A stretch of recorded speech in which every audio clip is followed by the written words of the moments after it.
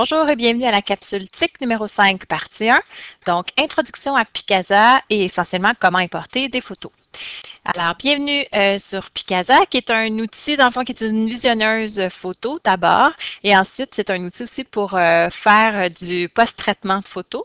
Donc, euh, enlever les yeux rouges, recadrer, ajouter quelques filtres. Super simple d'utilisation, très intuitif. Pas aussi performant qu'un Photoshop, mais vraiment, là, ça fait le travail simplement.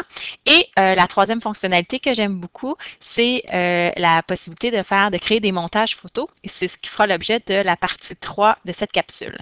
Euh, pour les utilisateurs de Grande Seigneurie, vous pourrez retrouver Picasa dans euh, le, centre logiciel sur votre ordinateur. Donc, il est possible de le télécharger gratuitement et par vous-même.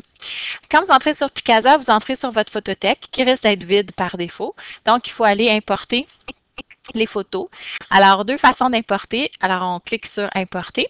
Et ici, Importer à partir de, en cliquant sur le petit triangle, vous avez la possibilité, ici, vous, verriez le, nom de tous les appareils qui sont branchés à votre ordinateur.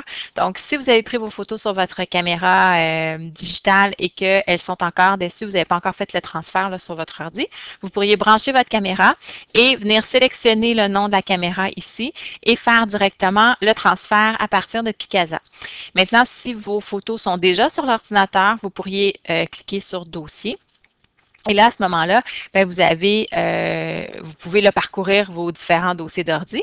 Moi, j'ai déjà fait une sélection d'un dossier Picasa. Et là, dans cette sélection, je pourrais tout importer les photos de ce dossier. Donc, vous voyez, j'ai plusieurs euh, photos ici relatives à l'école qui ont été euh, placées. Maintenant, je veux importer dans mes photos et le nom du dossier, pour moi ici, ça sera école. Et lorsque c'est nommé, ben, je peux faire cliquer tout importer. Et là, à ce moment-là, ben, je retourne dans ma photothèque et j'ai mon premier dossier qui s'appelle ici école. Euh, rapidement, si vous voulez modifier les photos, parce que ça ne fera pas l'objet de la, de la capsule, mais vous, pourriez sélectionner n'importe quelle photo et à ce moment-là, ben, vous auriez la chance d'aller chercher les différents outils, donc recadrer notamment. Vous pouvez faire un recadrage vous-même, appliquer.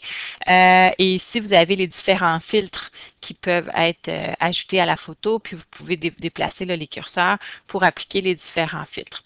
Alors, euh, ben voilà, c'était la partie 1. On se revoit pour la partie 2.